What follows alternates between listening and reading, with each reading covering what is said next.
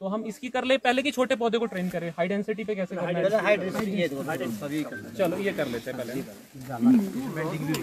इसमें बेंडिंग हो देखो इन्होंने क्या क्या प्रिंसिपल इसमें फॉलो किए। बहुत सारी अच्छी अच्छी चीज़ें की है इन्होंने। घुटने पर घुटने से नीचे कोई टहना होना नहीं चाहिए पर इसमें क्या गलती हो गई? ये बेंडिंग कब मार्च में हुई है? ये हमने की थी अप्रैल। नहीं जून। जून में।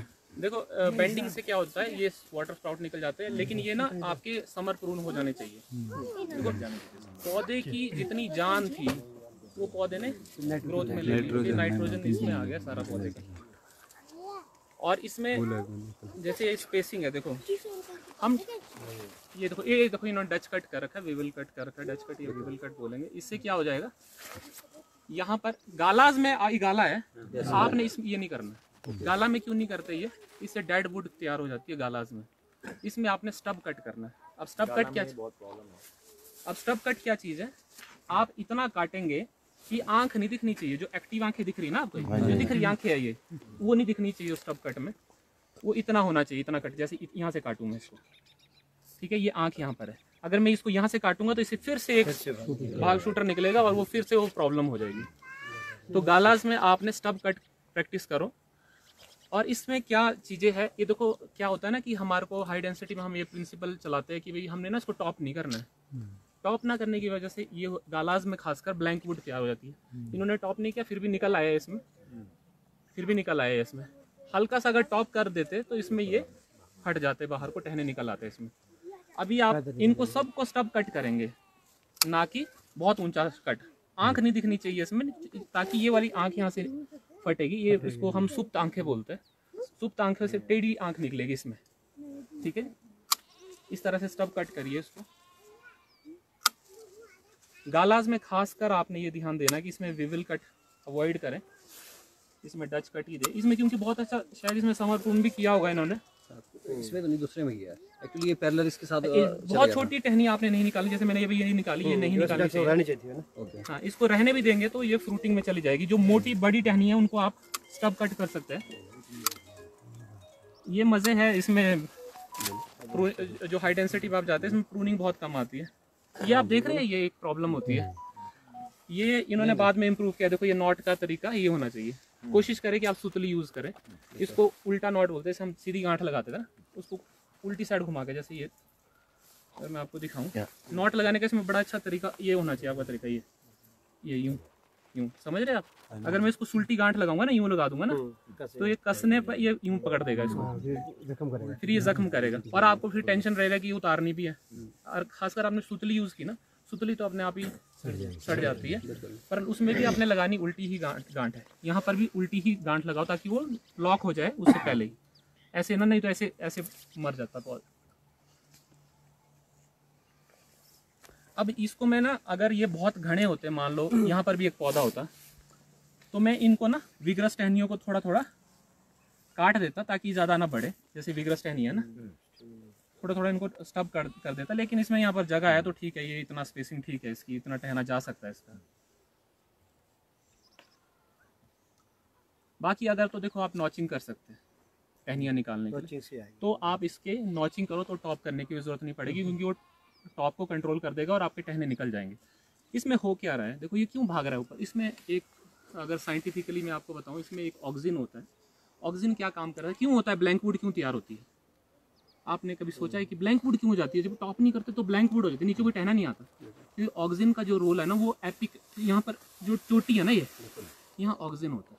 वो उसका काम क्या है? यहाँ होता है और जड़ों के रूट में टिप में होता है रूट्स के टिप में। दो जगह ऑक्सीजन होते हैं।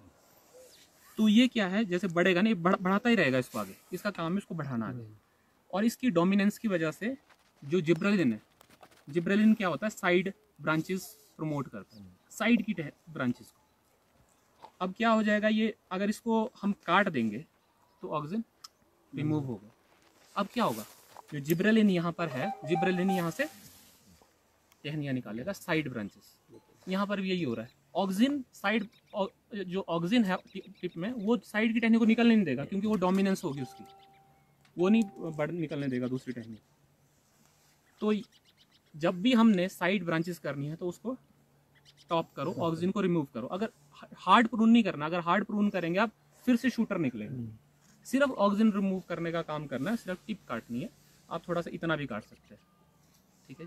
फिर डॉक्टर साहब कई ऐसा बोलते हैं जैसे इसको वो बोलते हैं सिर्फ़ इसको इससे करना है। ऐसे भी कर सकते हैं। वही है जो ये आँख है ना ऊपर टॉप में इसमें ही ऑक्सीजन होता है इसमें मैरिस्टेमेटिक टिश्यू होता है। हैं। ना। आप वो समर में पिंचिंग होती है समर। करते हैं छोटे शॉट्स में आप ऐसे भी करते आप इसको इस तरह से भी रोक सकते हैं। अब समर में तो हम विंटर्स में तो हम थोड़ा काट सकते हैं। समर्स में आप क्या कर देते हैं पिंच कर देते हैं। पिंच में आप वही कर रहे हैं ऑक्सीजन रिमूव कर रहे हैं जिसकी वजह से जिब्रेलिन एक्ट तभी तो होता है ना आप आजकल चल रहा है ना ब्रांचिंग के लिए क्या करते हैं? ग्रोथ रेगुलेटर यूज़ कर रहे हैं। जिब्रेलिन यूज़ कर रहे हैं। जैसे ही उसको आँख पे लगाएँगे जिब्रेलिन का लेवल वहाँ पर बढ़ा वैसे ही टहनी बार। और जो ऑक्सीजन के इफ़ेक्ट होता है उससे क्या होता है? स्ट्रेट टहनी निकलती है या खड़ी टहनी निकल जाएगी।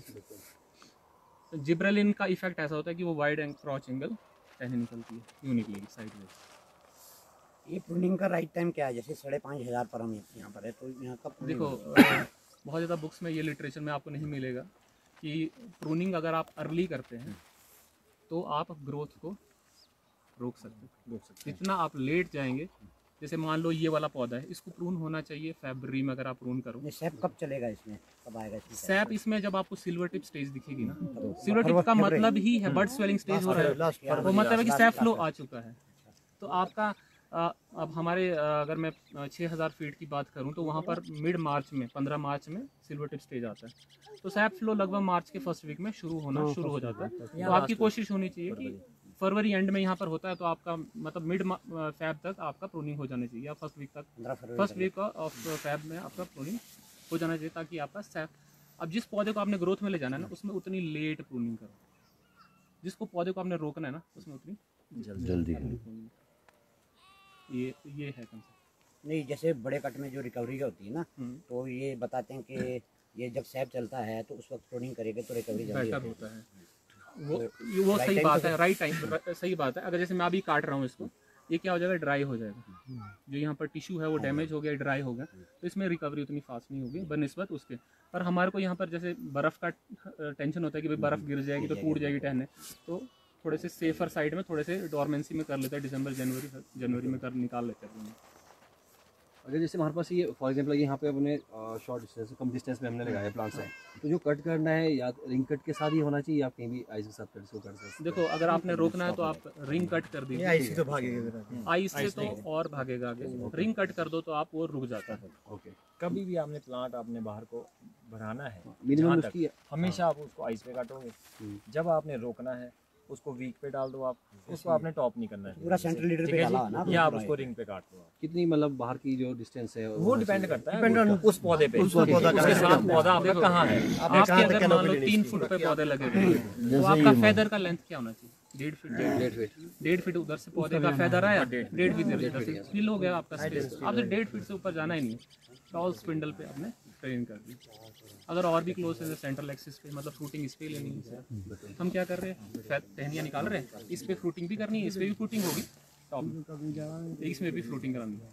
तो ये हमारा प्रैक्टिस है। अगर आप बहुत क्लोज स्पेसिंग है तो सेंट्रल एक्सिस पे आप बेयर करवा सकते हैं। लेकिन जैसे ही इतना स्पेसिंग है मान लो तीन फुट है चार फुट है टॉल दो दो फुट आप पे जा सकते हैं। दोनों साइड आप टॉल स्पिंडल मेथड फॉलो करेंगे अब आपका क्या है? सबसे पहला बड़ा कंफ्यूजन होता है लोगों की हम जो पौधा लाया हमने उसको हम टॉप करें कि नहीं करें? है ना? टॉप कि नहीं करें? देखो, अगर आप तो आपका ट्रायलिस लगा हुआ है, आप बहुत क्लोज स्पेसिंग में काम करें, आप टॉप मत करो, आप क्योंकि नॉचिंग से टहने निकाल देंगे। आप नॉचिंग से क्या होगा? वीक टहना निकलेगा। वीक टहने निकालेंगे, आप बहुत सारी जगह नॉचिंग करेंगे, बहुत सारे टहने निकलेंगे तो वीक ही रहेंगे ना वो तो।